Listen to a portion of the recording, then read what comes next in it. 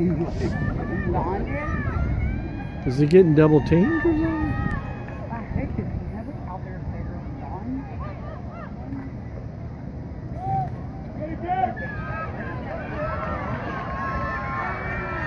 Please don't.